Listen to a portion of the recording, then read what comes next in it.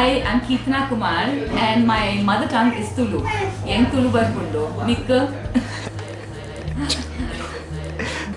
Uh, uh, hi, I'm Konarak Sethi, and um, I'm uh, my father was Andhra, my mother is Bengali and Tamil, my grandparents were Christian, so uh, I am truly Indian.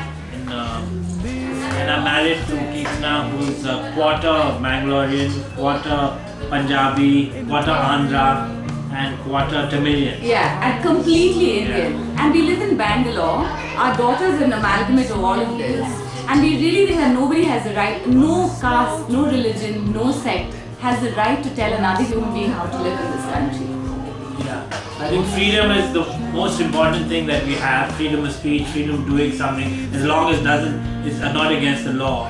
And there's no sect or no group or no fundamental kind of attitude that can stop this. And we do not believe in that. People seem to think that politics is some dirty word. It isn't, it's just a state of mind. And art and politics cannot be set. They are not in fact separated. As much as you would like to think that art is separate, politics are not. You wear your politics with every song you sing, with all the work that you do. One small love is all it takes in a tired world. Join us at the concert. I'm going to draw a line.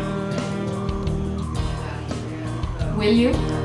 I'm such a big man.